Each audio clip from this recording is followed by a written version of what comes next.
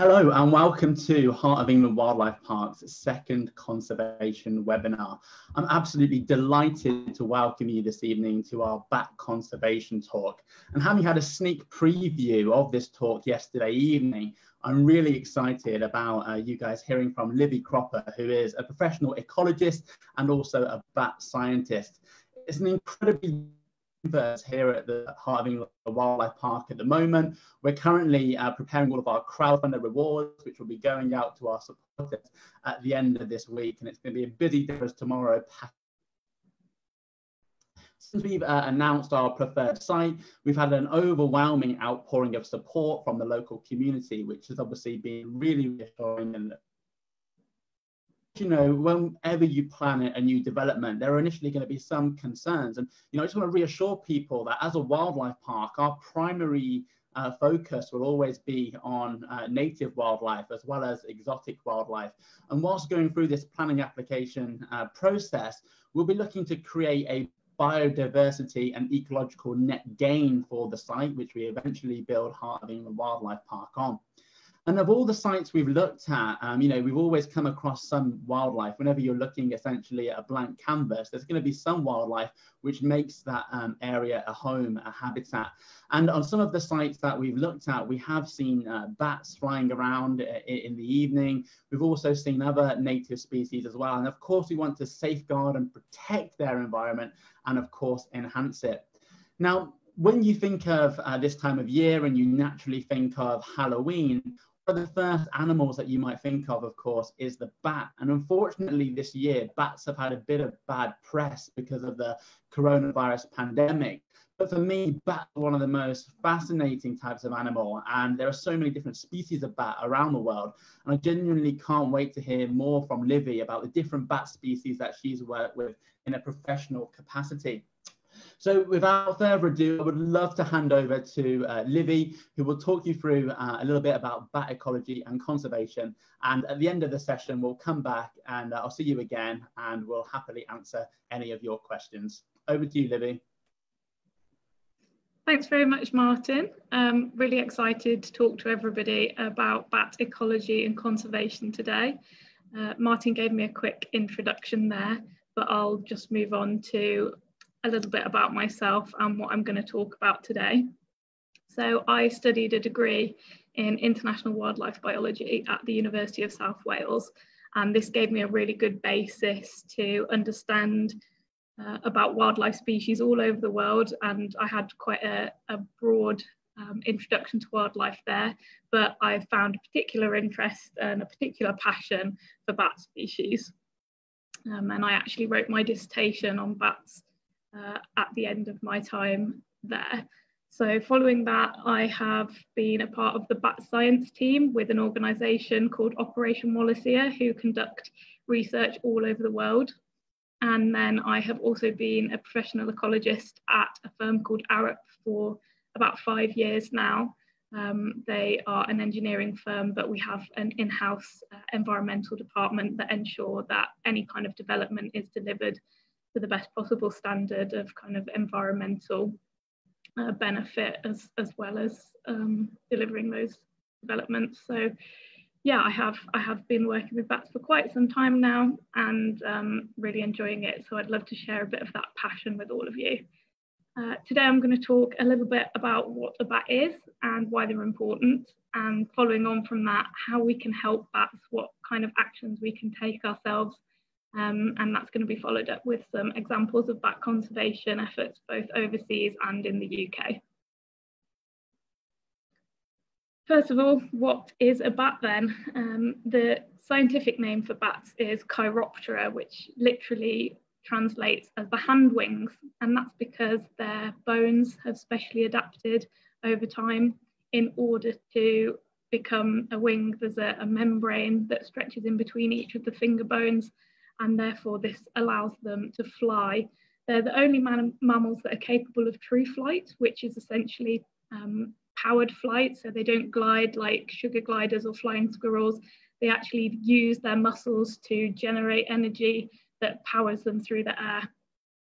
Um, and that's something that I find really amazing about this group of animals. They, they can do something that, that no other group of mammals can and, and uh, kind of really in, in a really impressive way. There are broadly two kind of categories of bats um, and you might recognise the microbats more as they're the ones that we find in the UK. Um, these are the small insectivorous, typically insectivorous bats that can echolocate and they use their echolocation to be able to uh, see in the dark um, in some way. They can actually generate almost like an image using their voice um, that they can interpret. And then we have the, the megabats as well, which are kind of more the tropics, um, fruit bats and so on.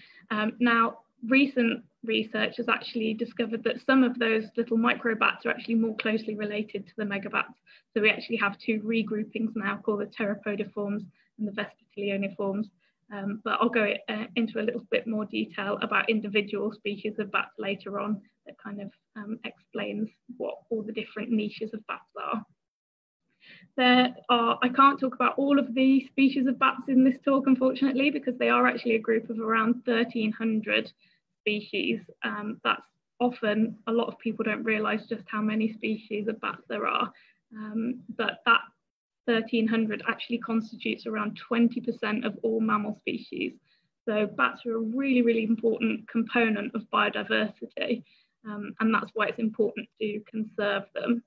Because there are so many different types of bats, they occupy all kinds of different niches. And as a result, they have a really wide variety of diets from fruit and nectar, um, in some locations, frogs and fish, um, and all kinds of different insects through consuming these fruit or insects, they provide really important ecosystem services. And I'll talk a bit later about what ecosystem services are, but this kind of comes down to things like pest control, pollination, and seed dispersal. Some people are quite surprised to find out that bats are not very closely related to rodents. In fact, in many languages, the word for bat directly translates to um, something to do with a mouse. So for example, Fledermaus in uh, German or chauve-souris in French is uh, flying mouse and bald mouse. Um, but they're not flying mice and they're not bald mice. Um, they are actually not very closely related to mice at all. Um, one of the ways in which they're different is they're very slow breeding, and that's why bats can be threatened because they can only produce one offspring a year. Um, and this is partly down to the fact that they have much longer lifespans. They, they take longer to reach sexual maturity. And then as a result, some bats can live for sort of 30, 40 years. In fact, the oldest recorded bat um, was a species called Brandt's bat. Uh, you can actually find Brandt's bat within the UK. Um, and the oldest known uh, Brandt's bat was at least 41 years old.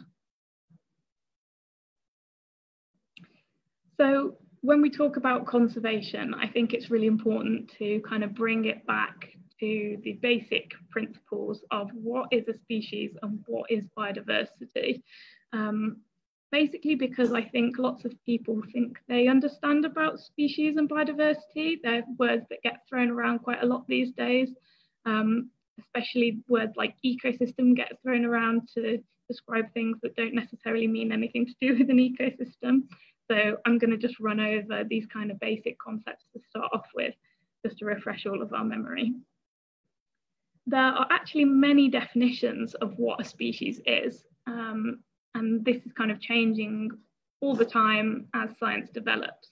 But one of the most common um, accepted theories right now is that a species is a group of organisms where breeding can result in a viable offspring.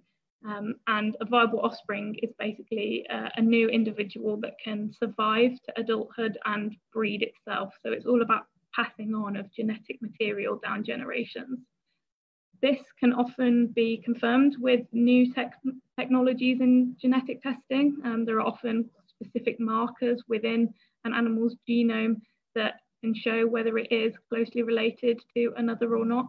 Um, and that is one new way that we can use to kind of define what a species means. Um, and when we talk about biodiversity in conservation, most often we're referring to um, biological diversity in terms of species. So we're talking about how many species are present within an ecosystem. Um, the importance of species diversity is basically that the more complex an ecosystem is, the more resilient it is. If you have lots of different types of pollinators, lots of different types of predators, then you have um, an ecosystem that is able to operate without human intervention, basically. Um, and apart from that, it also creates the most kind of amazing habitats that we like to enjoy. Um, we like to see, you know, butterflies and um, all kinds of different bees and many different species in an area when we go outside and, and that kind of builds a picture of a, of a healthy ecosystem, one that has many different species present. And conservation aims to protect that. There are other ways of measuring biodiversity, and one that I thought I'd just drop in now is that you can also measure biodiversity by biomass. Um, so if we weighed all of the animals on planet Earth, we would see that only around 3% of that mass or that weight would be wild animals, and the other 97% is human or domestic animals like cows, sheep, cats, and dogs. So it's really important to recognize the impact that humans have on the environment as well. So what do people know about biodiversity then? I said that I think some people maybe don't necessarily understand biodiversity sometimes. Um, and I just wanted to introduce why I think that. So usually at this point in a talk, I would have a little chat with the audience and find out what um, people know. And that wasn't an option this time uh, with our online webinar. So we I've decided to send out a little questionnaire beforehand, very, very quick, um, just to see what species come to mind for people. And I think that kind of indicates um, what people know about biodiversity just because we tend to see some biases in the in the kind of species that people actually know about. So um, just one thing to start off with, there was little knowledge of invertebrates, for example. So despite the fact that invertebrates make up 95% of all animal diversity, only three out of 155 named species were invertebrates. Um, I think potentially there's a misunderstanding of what a species is as well. Uh, some people named groups of animals, such as reptiles or whales, um, and these aren't kind of individual species. An example of an individual species would be adder or blue whale um, and potentially under, not understanding what is native to the UK. So um, this questionnaire may have been answered by people from outside of the UK, um, but even so, the fact that species that come to mind are things like grey squirrel and rabbit, um, that as British species, that makes me think that potentially people aren't clear on what a native species is, although I didn't actually specify um, in the question that it had to be a native British species, so I could have been a little clearer there. Um, I think there's also a bias towards um, large kind of what I would call glamorous animals, such as lions, tigers, bears, and so on. Um, often a lot of the answers uh, included these, even when it, they didn't include um, sort of local species. Um, predicting that most of my responses came from the UK. Um, and also, even though, like I mentioned earlier, there is a bias towards mammals and bats make up 20% of mammals, not very many people mention bats at all. So I'm kind of, what this all comes down to is drawing down to this idea that bats are kind of underrepresented and maybe not very well understood funnily enough, um, around 10 out of the 31 people who responded to my survey could name five species of bat. But I think I suspect that that's mostly because I know a lot of ecologists and people who listen to me ramble on about bats. So um, I think that's potentially a little better than the, than the general population. Um, so if people know about biodiversity and they might have a few misconceptions, they might also have misconceptions about bats. And I certainly think this is true through the work that I've done. Um, so many people ask me lots of really good questions about bats, but it goes to show that they might not have a good understanding of bats in the first place. Um, so one thing that I hear very often is that people consider bats as pests and they don't want them living anywhere near them. In fact, if you Google bat conservation, you get about 45 million results. And if you Google bat removal, um, you get more than double the number of results.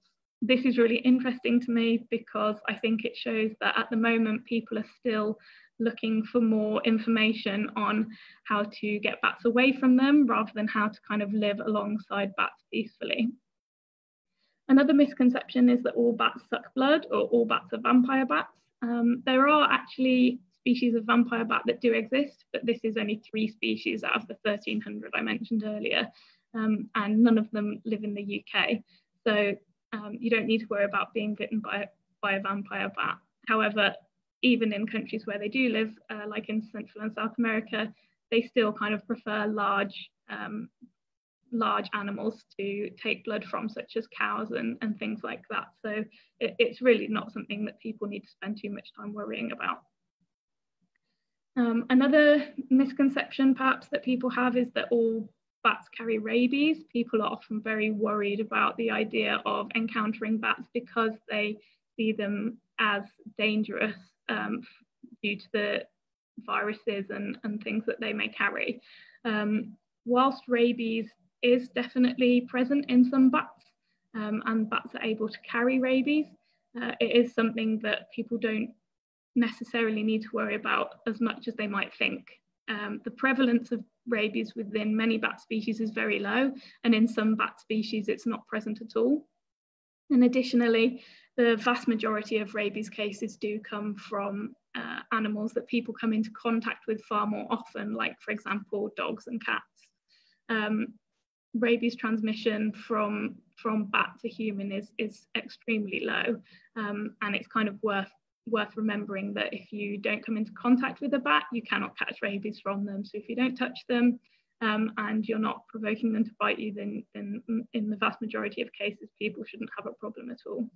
Um, this is a good point to mention if you do ever find a bat in the wild and you need to give it some help because maybe it's on the ground, um, you can do so only under kind of circumstances where you have gloves or something to protect your hands. Um, and the only people who would handle bats on a regular basis are people with a rabies vaccine um, and also the appropriate training to do so.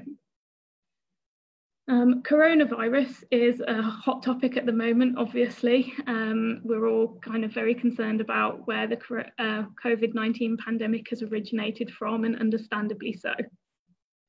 However, the theory that coronavirus has originated in bats is actually still not proven, even though most people tend to use it as a big headline. Um, I think the uh, relatedness of the current coronavirus uh, that's circling, circulating in the human population um, is about 96% similar to one that's found um, in a particular species of Asian horseshoe bat. So whilst there is a level of relatedness that makes it likely that it could have come from a bat, this still actually hasn't been proven um, and it's and it's potentially not the link at all, or there could be even intermediate vectors, um, so other wildlife species in between bats and humans.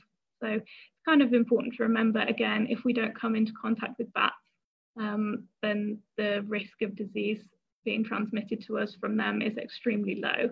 Um, another thing to note is potentially we as humans are posing more of a risk to bats from coronavirus right now because current IUCN guidance, guidance does actually say that um, based on current data, we could be transmitting coronavirus to other mammals, um, including bats. So that's also something worth bearing in mind. Um, finally, by far the most common misconception that I've heard about bats is that they are blind. Um, this is not true, or no species that I know of. Um, they do tend to have pretty good night vision, um, particularly the fruit bats. They use um, sight, sound, and smell to navigate in the dark and find their food. Obviously, fruit bats eat stationary food, so um, insect-eating bats have come up with, and other types of bats that hunt prey have come up with a separate system. Of course, that's echolocation that helps them to gain a picture of um, the surroundings around them in the dark. I have some examples here of echolocation. Um, you can listen to bat calls using specialized microphones on um, devices called bat detectors. And um, I just want to show you how different um, these, uh, these calls actually sound um, because each species can be identified from their call. um, because they all sound so different. So I'll just start this one. Hopefully you can hear it.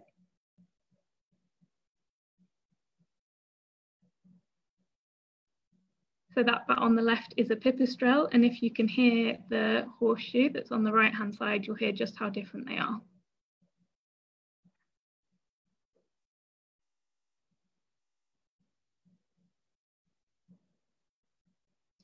So over time, you can learn to listen out for bats and identify them purely from their call without even to have even having them sort of right up in front of you. Um, and this is a really important development in bat conservation because it's allowed us to monitor bats a lot more easily.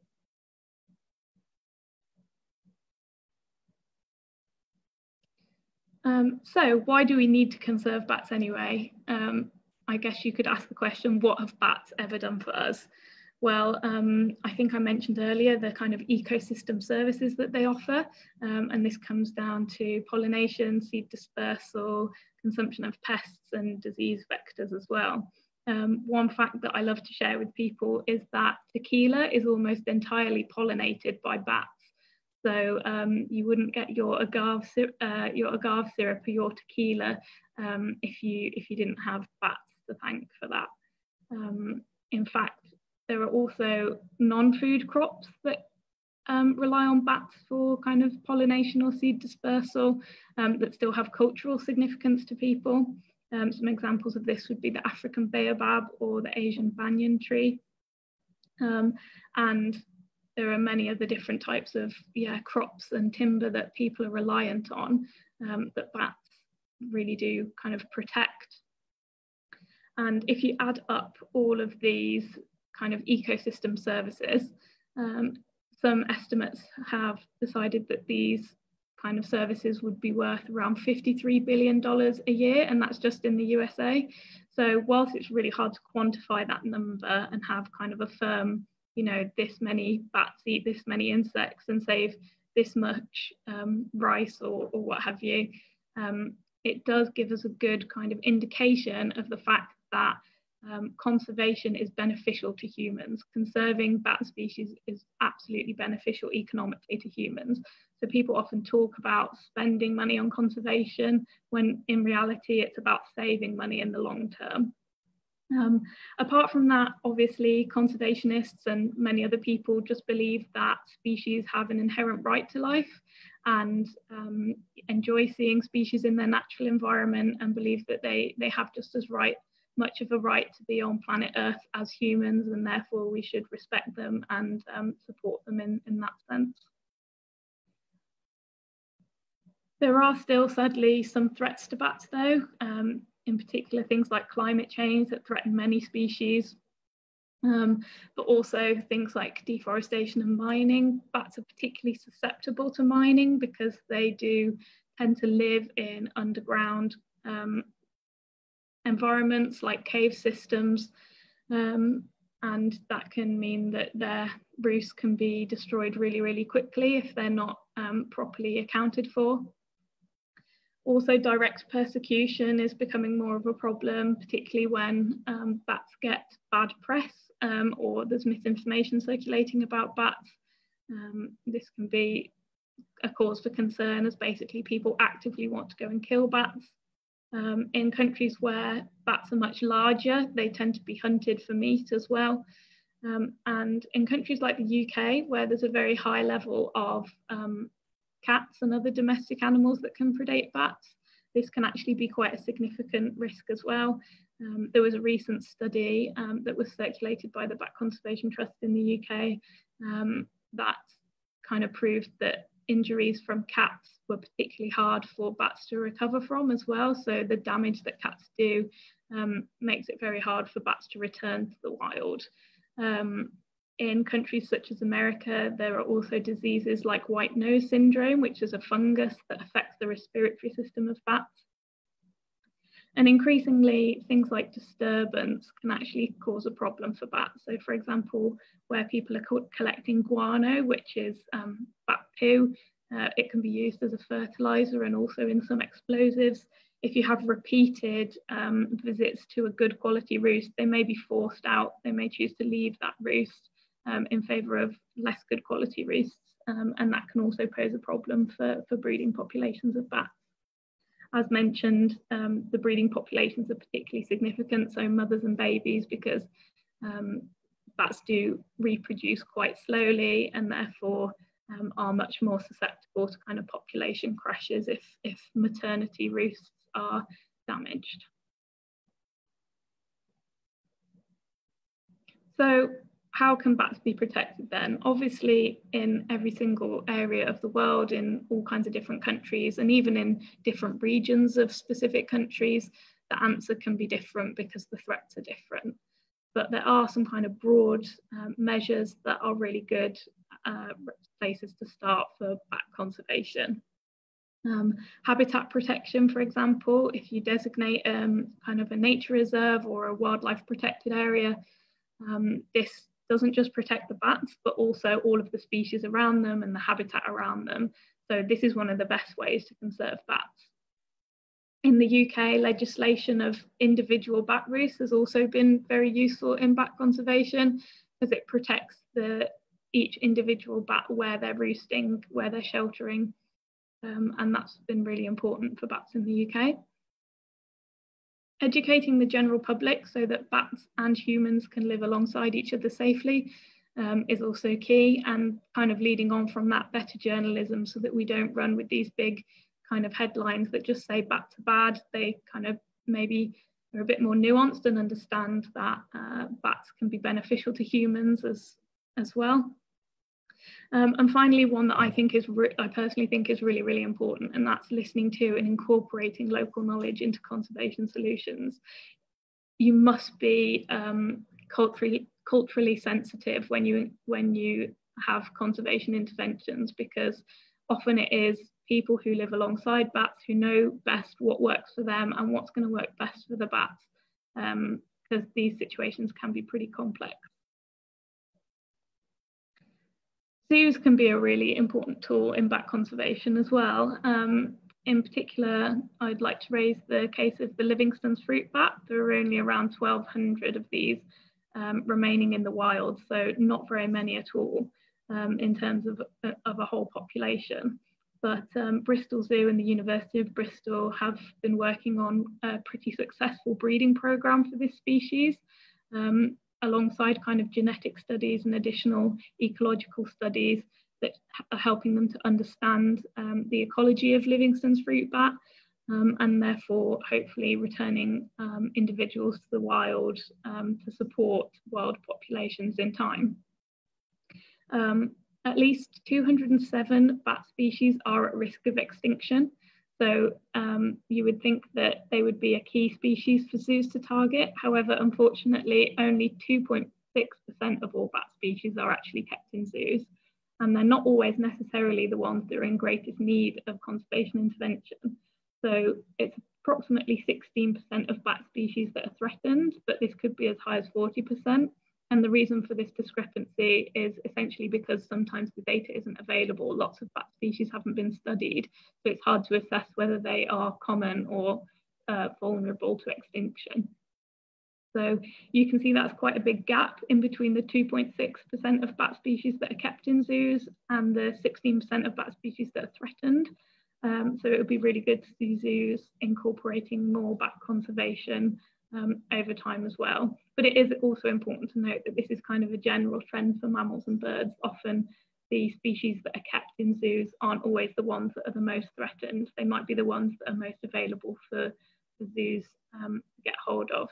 Um, you can see an, another example of this would be, for example, the wolf and the dhole. So many people know that the grey wolf um, can be locally threatened by things like hunting, However, overall, it is um, least concern on the IUCN red list, uh, whereas species, species like the dhole, which is basically an Asian wolf or an Asian canid related to dogs and foxes, um, actually isn't kept in very many um, zoo collections at all.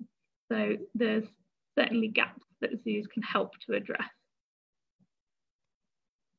Uh, that's just a close-up picture of the Livingstone's fruit bat, um, one of the individuals kept at Bristol Zoo there, just because I think it looks really gorgeous with the, the gold fur in the sunlight that you can see on the left-hand side there. Um, so while zoos are a really important tool, um, in situ uh, conservation is also really important as well. Um, in particular, uh, oh, in situ uh, conservation is basically conservation that happens in the bat's actual habitat, like out in the field. Um, and in particular, successful um, in situ conservation is the kind of conservation where habitat is protected. And again, like I mentioned earlier, local communities are worked with um, so that their needs are met as well. Um, I've list listed on the left-hand side a couple of examples of um, organisations and charities that have delivered some really effective uh, bat conservation in the past or are monitoring bat populations all across the world. But the one I'd particularly like to talk about today is the Flying Fox Conservation Fund, uh, which is based in Indonesia. Um, and that's because um, they work to protect a species that I've actually managed to encounter in the wild. Um, and that species of this is the Sulawesi flying fox. And you can see that species on the right hand side. It's really gorgeous. It's quite a large fruit bat. Um, it's pictured there in a fig tree. So you can see it's been eating some figs. Um, they've got these lovely big eyes, big ears, and a little white spot on their nose. They're very, very charming animals. Um, however, as it's such a large bat, it's quite desirable in the bushmeat trade. Um, this bat is vulnerable to extinction on the IUCN Red List, um, and in some parts of its range, it's been hunted almost to extinction or, or it's even missing um, in certain areas. So for example, in North Sulawesi, it's now considered to be locally extirpated, which is basically extinct in that specific region. Um, the consumption of Sulawesi flying fox is kind of fairly moderate. It's not um, people's first choice of food, but it does increase tenfold during Christian holidays when it becomes more desirable as part of kind of celebratory feasts. So um, uh, Easter, Christmas, and so on because there is quite a big Christian population on Sulawesi. Um, however, the Flying Fox Conservation Fund has reported that the species is making a really strong return in some areas of Sulawesi. Um, and there's one particular village that they've worked with where local people have planted fruit trees to attract large colonies of this bat.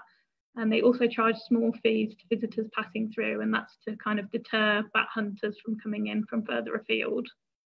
They also report that their rice production has increased since well, kind of welcoming the bats, which is really amazing um, because it's benefited them and it shows the importance of local conservation and local solutions.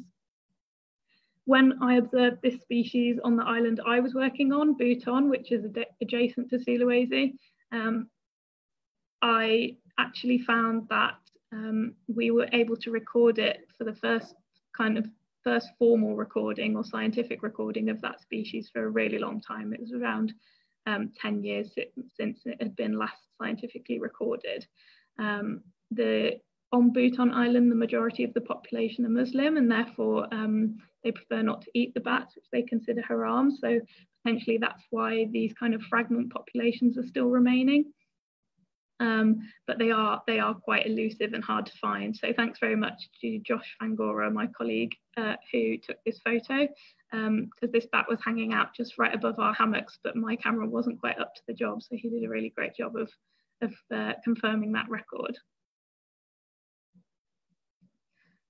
So why did I choose to study bats in Indonesia? Um, well, of the 1,300 species worldwide, most are distributed in the tropics. The closer you go to the equator, the higher diversity you get. That's a general trend, and it's also true for bat species.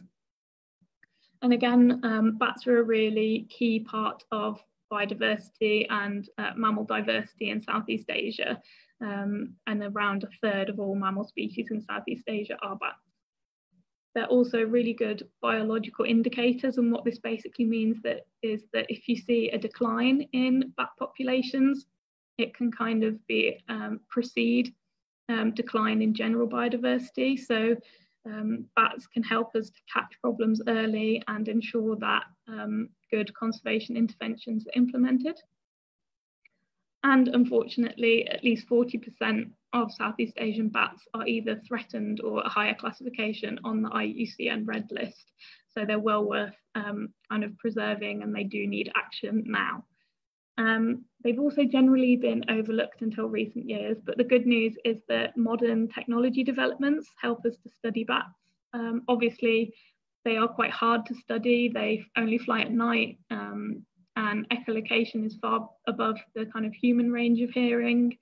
Um, and yeah, they're, they're generally quite hard to kind of trap or get, get um, a good picture of in the hand.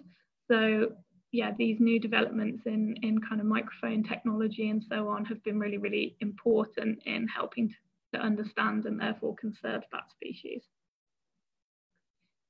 Um, one particular piece of uh, really cool um, research on Indonesian bats and kind of Southeast Asian bats um, that I want to mention is a paper on harmonic hopping from uh, Steve Rossiter and Tigga Kingston. This came out in 2004, but it's still um, a really important study that um, has taught us a lot about um, kind of evolution in general, as well as uh, bats in the region. So you can see on the right hand side a picture of a large, large-eared horseshoe bat. Um, and this bat is interesting because it essentially has three size morphs. These different morphs are actually able to call at different frequencies. So there's a, a small uh, bat which has a high pitched call, a medium bat which has a kind of medium call, and a large bat which has a very low pitched call. Um, and this is basically because they have different diets. So they are looking for different insects. Some might be, the small ones might be looking for mosquitoes and flies, and the larger ones looking for beetles and big moths. Um, and what this is essentially telling us is that they are adapting. We can see a snapshot of evolution in progress. Um, and over time, uh, selective breeding is occurring within these morphs. So because the bats can only hear the other bats that are calling at the same frequency as them, the small ones are getting smaller and the large ones getting larger. And the moderate ones um, are only interbreeding with, with the other moderate ones. Um, and genetic studies have shown that the species hasn't yet split into three separate species, but it probably will over multiple generations. Um, this is a really similar concept to that seen in Darwin's finches. So where the finches eat different foods, they develop different beaks, they take on different forms um, over time. And this is basically kind of one step before um, that so we're, we're seeing actual evolution happening right before our eyes, which I find really, really cool. The reason that um, I chose to do work on Buton Island is because I was working with a group called Operation Wallacea, who I think I mentioned before. Um, Operation Wallacea or Opwall are a research organisation that are based in the UK but undertake studies all over the world and especially in tropical regions. Um, they've been working in Buton for over 15 years now, um, and that has allowed them to successfully create many really good quality long-term data sets. Uh, Buton was chosen by Operation Wallacea and the project has been so successful because of a few key, um, few, few key elements about the, about the island.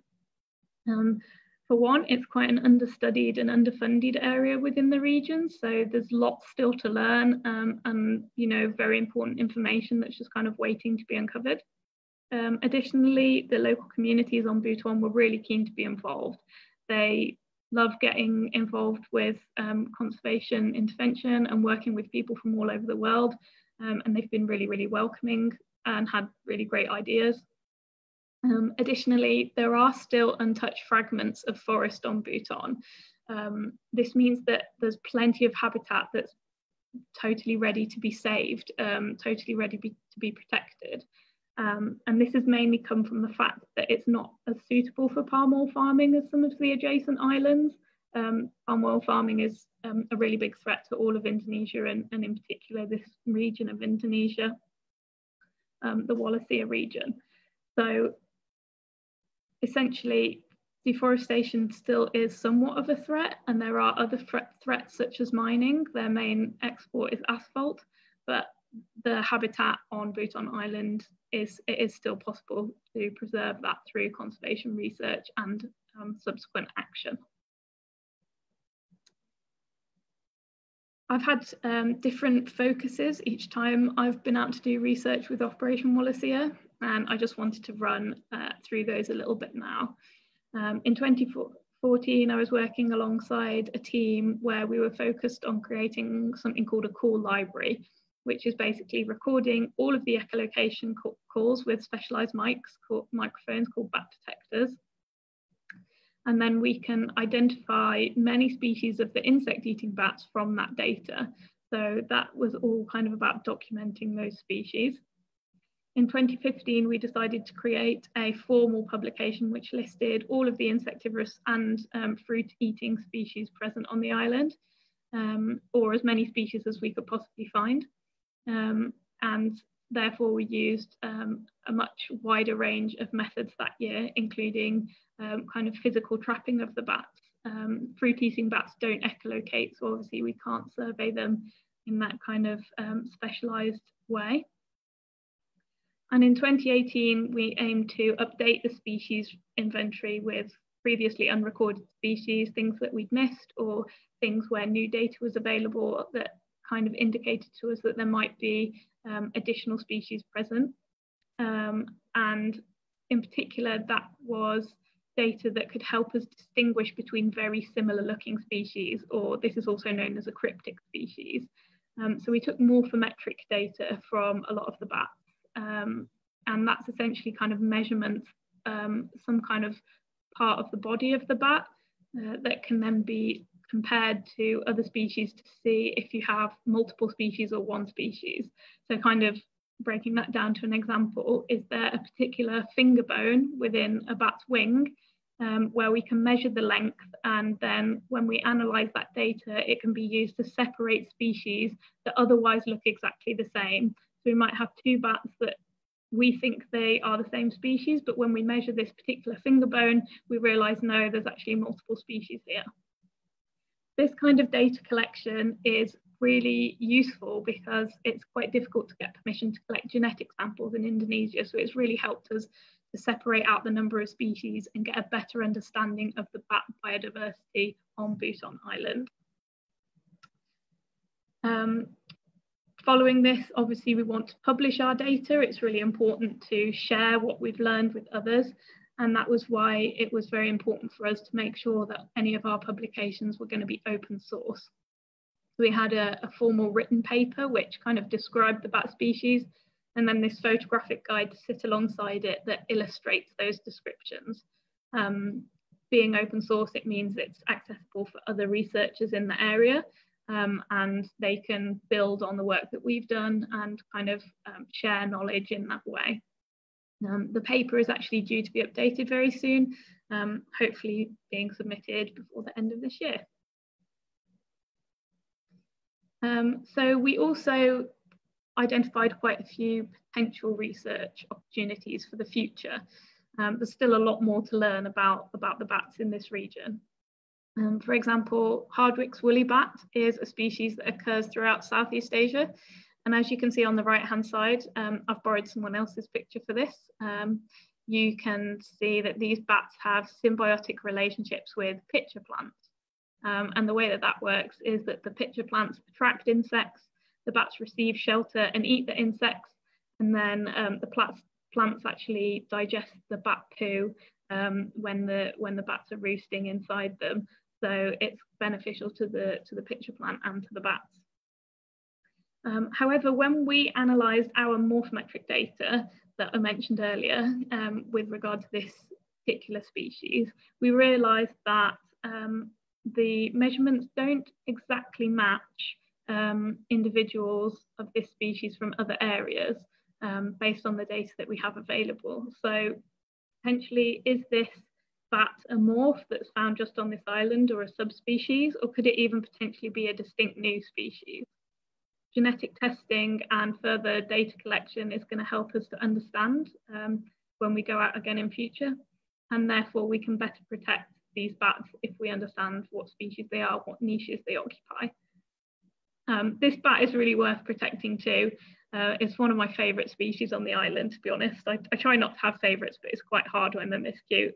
Um, it actually smells like curry or, or musk. It's really quite a stinky bat. Um, even though it's so small, and it weighs just three grams when it's fully grown, which makes it close to one of the smallest species in the world.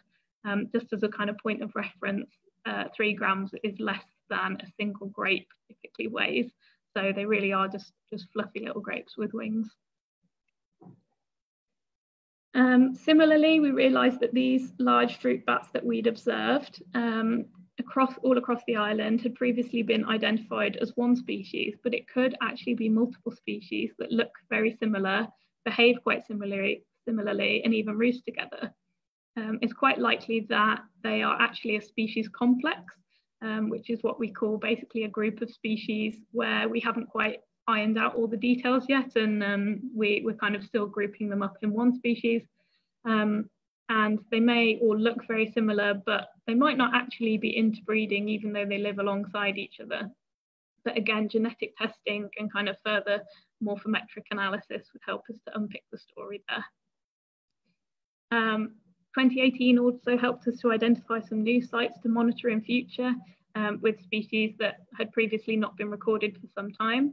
Uh, for example, the lesser false vampire bat that's in the left-hand picture there. It's not an actual vampire bat. Um, and the little long-fingered bat on the right-hand side. Um, they hadn't been formally recorded on the island for quite some years. So now that we've identified new sites where they live, we can do better at um, monitoring them over long over long-term periods. So um, bringing it a bit closer to home, since most of the audience will be based in the UK, um, there are many fascinating species in the rest of the world, but it's also really important to remember that we have 17 fascinating species at home um, in the UK too, and, and they need our help and support as well. Um, the UK is actually one of the most species depleted countries in the world. We've lost far more wildlife species than, than on average throughout the rest of the world, um, and not many people realise that. So the 17 species of bat that are present in the UK have all unfortunately suffered declines historically. They've all had population drops. Um, but it is now thought that many of those species are stable or recovering, but that's not the end of the story. We need to keep up that effort and um, make sure that that ongoing picture is built to, to continue bat conservation um, over time and, and potentially have full recoveries of all species. This is quite a challenge though. Um, for example, one of the species, the greater mouse-eared bat, has just one individual remaining that we know of in the UK. Um, this bat does tend to um, appear in Kent every so often, um, and we're not entirely sure on where it goes the rest of the time. But unfortunately, it doesn't ever occur with a mate or um, as part of a colony. It is just one individual bat that's remaining. It is a species that's present on mainland Europe as well, but um, it would be it's going to be a really sad day when we realise that um, that species no longer exists in the UK at all. Um, all UK bat species are insectivorous, so they all echolocate, as I was talking about earlier. Um, they live in trees and also buildings and bridges, depending on the species. And we don't know a lot about where bats choose to hibernate in the UK choose to hibernate in winter. We know generally they tend to go underground, so caves, mines, and tunnels. But um, often we're not actually able to track back to those sites very well. There's still quite a lot to learn in that regard. We do know that bats are really reliant on woodlands for shelter and for foraging. So um, places that have lots of insects are obviously the best for them to hunt. Um, but most species are quite territorial about where they hunt, and so um, they need to spread out. They might roost in woodlands, but they need to spread out a bit throughout the night when they emerge from their roosts. So they like to travel through the landscape, in particular following habitats like uh, that are linear, like rivers and hedgerows. So there's actually quite a big patchwork of different habitats that are really valuable to bats. So there's quite a lot of um, different aspects that we need to conserve when we're when we're thinking about bat conservation. Um, one of the largest um, kind of forces for bat conservation in the UK is a fantastic charity called the Bat Conservation Trust. And they coordinate a national network of volunteers to deliver um, local and national scale projects. And I'll talk a little bit about some of those in a moment. Um, there are also organisations that have a really important role to play. um, such as the Wildlife Trust, RSPB, and sometimes local councils can do um, conservation interventions as well, um, particularly in terms of habitat management. And then there are also local bat groups. Um, and if you are local to the Heart of England Wildlife Park, um, I can tell you that your local bat groups would be Worcestershire Bat Group, Brum Bats and Warwickshire Bat Group.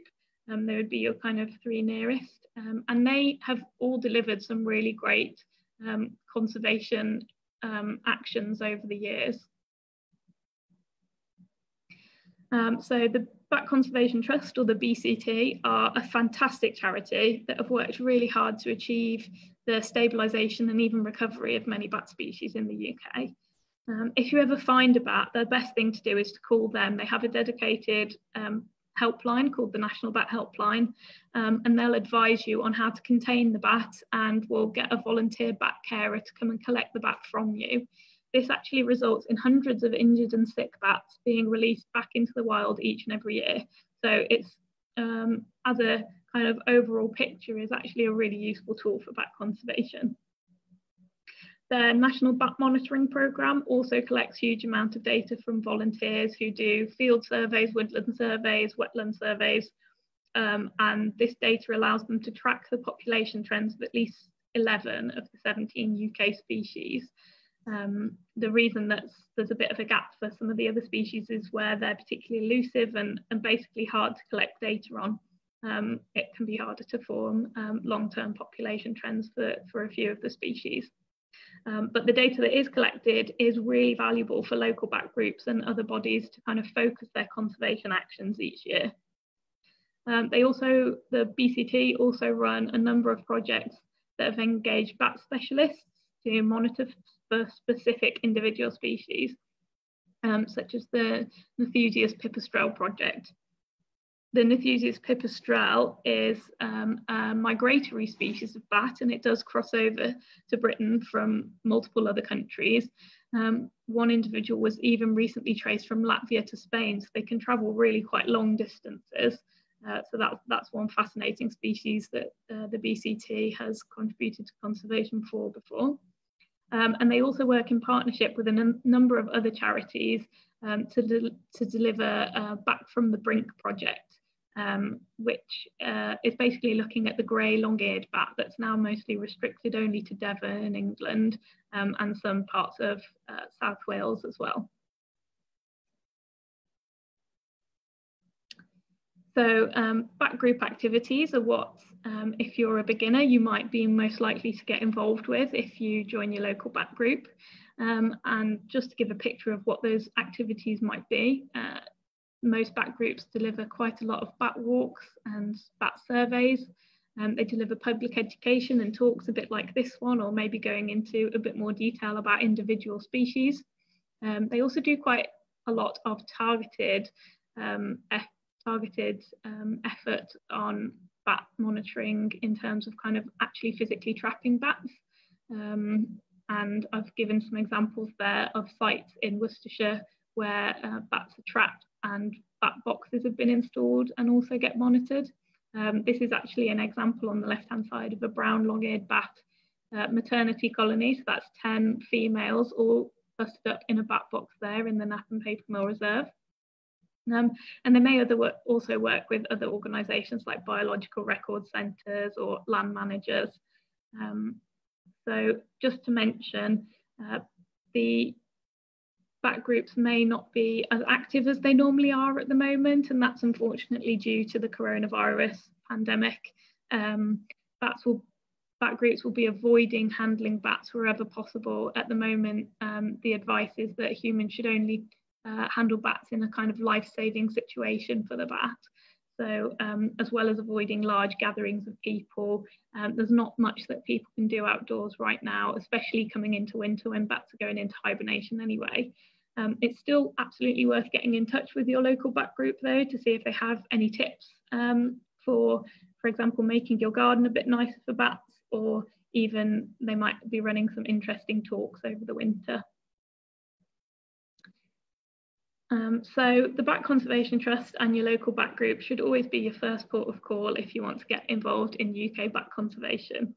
If you can't get involved with any BCT projects right now, you can still help them to fundraise by visiting the gift section of their website, um, where they offer a really massive selection actually of products made by small businesses. So from jewelry to clothing to mugs. Um, and you can maybe pop uh, pop them on their Christmas list for people, get some stocking fillers from there uh, in order to support them. And you can support your local back group by joining as a member. And it's usually only about £10 a year per person or per household. Um, so it's a really, um, in a normal year, it's a really affordable way of getting to know other people, getting outside, um, and all the other benefits that come alongside um, actually conserving bat populations as well. You don't need to be involved with massive projects in order to make a difference though. There are many really important things you can do at home for bat conservation, um, particularly if you have any outdoor space that you can make better for bats. Um, introducing uh, plants that flower at night, um, especially native species like campions, mallows, honeysuckle and dianthus, um, or even um, non-native species that people typically keep in their gardens like prim primrose, tobacco, wisteria and jasmine. All of these can attract bugs that bats like to feast on in your garden. You can also encourage bugs by introducing bug hotels and of course even bat boxes for bats to actually roost in. Um, and you can buy these online or even create your own. There's actually quite a lot of guidance out, out there on how to do that now. Uh, most importantly, potentially, uh, you can bring your, if you have a cat, you can bring them in overnight, or particularly at dusk, which is when bats are emerging from their roosts and really at their most vulnerable. Um, if you're interested in echolocation, these days you can find secondhand bat detectors such as bat boxes and echometer touches really quite cheaply online. So you can sit out in your garden over summer and tune in to your new visitors that you've attracted with all your bug hotels and your night flowering plants. Um, and you can observe them actually pretty easily, especially just before it gets dark. That's the best time to see bats in your garden um, or at your kind of local outdoor space. If you want to learn even more about bats, there are loads of great books and field guides available to help get you started. Um, there was even a documentary on horseshoe bats on the BBC this week that you can watch back on iPlayer. And the BCT, again, they have a Bat Chat podcast, which covers all different aspects of bat conservation and has been really interesting uh, to the ones that I've listened to so far. Um, one thing to remember is because bats are legally protected in the UK, you mustn't handle them or disturb them unless you, you really need to do so. Um, in fact, it's illegal to, to pick up a bat unless you have um, a reason, for example, trying to save its life. Again, you also want to protect yourself as well um, because bats can, can carry some particular types of diseases that would be potentially detrimental to humans. Um, many bat conservation projects actually require special licenses to permit handling and disturbance. So if you want to help bats but you're unsure um, whether what you want to do to help them is legal, you can always seek advice from the Bat Conservation Trust. People who are experts that handle bats on a regular basis will be trained in how to do this properly.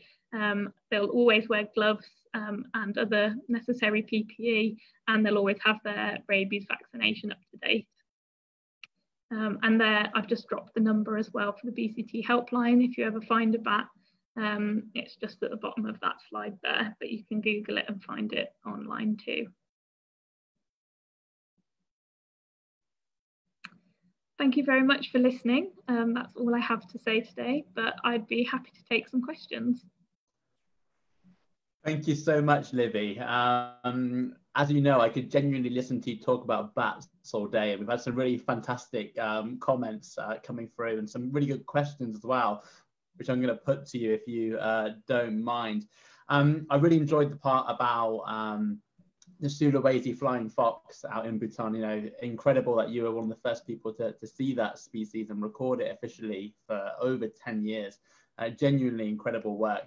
And uh, the other thing which will really stay with me is the difference between the Google searches for bat conservation and then bat removal. Um, you know, it's, it's, definitely the wrong way around, and we should be doing more to conserve bat species. Um, so I've got a few questions which have, have come in. So um, the first question which came in is from Diane. It says, how many baby bats will a female give birth to at one time? So um, it is usually uh, just one bat um, per, well, one offspring per bat each year. There are occasionally instances where we've seen bats give birth to twins, but this is pretty uncommon and it's even less common, sadly, for both of those individuals to survive. Um, if you think about um, how small some of the bats are that I showed you, obviously carrying another another bat um, whilst flying and, and sometimes they even carry the offspring um, after giving birth. So the the bat actually, the baby bat actually latches on um, to the teat and can stay attached that way. Um, it's really really heavy. Essentially, it can be you know a really significant proportion of their body weight to carry around as well. So that's why they kind of give birth to only one offspring at a time, because um, it's it's quite a lot of energy for them to expend. Yeah, I can imagine. I remember you say about that little fluffy grape. Um, you know what, what an incredible species that was. Um, the, the, second question that I've got is from Zoe Van Valsam, and she says, "Are there any diurnal species of bat, or are they strictly nocturnal?"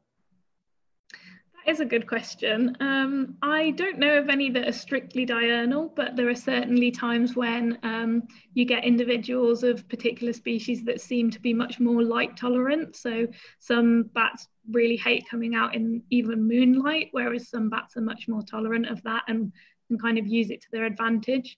Um, occasionally, you do see bats flying around in the day, and um, people tend to um, tag me in Facebook comments and stuff like that whenever people have spotted bats flying around in the day. So I know it definitely happens, but as a general rule, they they are um, quite nocturnal. Yeah, quite strictly nocturnal. Yeah, fantastic. Uh, I did I did do a little bit of um, research whilst you were talking, and I actually found um, there is a species of bat called the Blythe horseshoe bat, uh, and apparently that does have a tendency for hunting during the day, which I thought was quite a significant coincidence that I share um, my surname with the name of that bat species. um, uh, the next questions are about what people can do uh, at home to help conserve and protect uh, bat species. Um, so Kelly Harrington asked, um, what's the best thing she can do other than put up a bat box to increase numbers in the area? And I know you mentioned uh, planting is really important. Can you just remind mm -hmm. people of the, the sort of types of plants they can uh, put out in their gardens to help uh, promote bats? Yeah, definitely. So um, anything that is essentially going to attract insects to your garden. So things that smell quite strongly, things that are particularly scented at night, which will attract things like moths and, and night flying um, flies. Um, in particular, things like tobacco and wisteria, or even better if you can get your hands on some native um, plants like honeysuckle. Um, all of those things will flower at night and therefore attract insects at night. Um, but in general, just having wild bits of your garden, things that aren't too heavily mown, all of that is good for insects and therefore good for bats. Yeah, absolutely. I remember uh, Chris Packham did uh, a bit of um, sort of a campaign a couple of years ago saying, you know, leave a little part of your garden unmowed, you know, and let it go a little bit wild. And that will actually, you know, attract a lot of insect species. And then consequently, uh, hopefully the bats will move in as well. Um, the, the, next question is also about uh, bats in the garden here in the UK. And this is from Lucy Deers. And she says, How high does a bat box need to be? I would love one for Christmas. I love that question. Um, so um, typically, the guidance is to put a bat box at least kind of three meters above ground.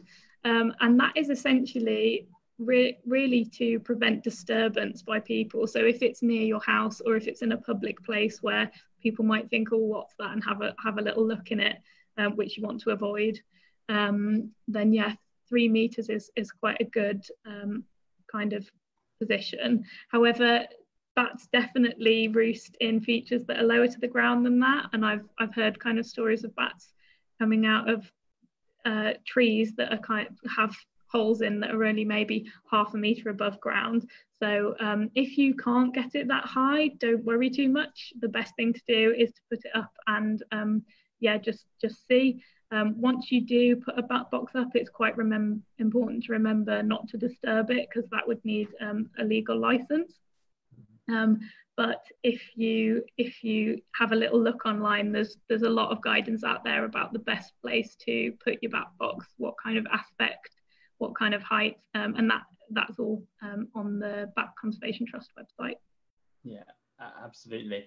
And um, we've got another question in uh, here. It says, how did your, uh, this is from Melissa Donnelly. Melissa said, how did your field work in Indonesia compared to other places you've worked? Oh, that's a nice question as well. Um, so I really loved working in Indonesia just because um, the bats were so prevalent there. Um, even though they are threatened, they're still absolutely everywhere. Every single time you go out at night, if you have a bat detector or if you've just got keen eyesight, um, you will see bats um, and all different types. Um, so that was something I really enjoyed. But um, I have also worked in areas like Honduras and South Africa, where I've seen really amazing bat species as well. so the kind of message that I would say is there there are bat, amazing bat species all over the world, and I think that's one of the reasons that I love bats is you find them in nearly every single environment. Um, so yeah, wherever you go, there's there's interesting bats to kind of see and hear. Brilliant. And I'll ask you uh, one final question, and there's one one for me as well.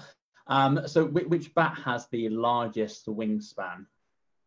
That is a good question. Um, so I believe it's kind of one of those questions where there's always like a few different answers when you look it up online. But um, I believe there is a giant uh, crown flying fox and also the Madagascar flying fox. So both really large fruit-eating bats um, that have wingspans of around six foot. Um, so they're kind of their their body height would not be as tall as a human, but their actual wingspan is is you know taller than me basically. Um, so yeah those are those are some of the really kind of possibly intimidating looking but when you get up close you realize that they're just kind of little puppies with wings.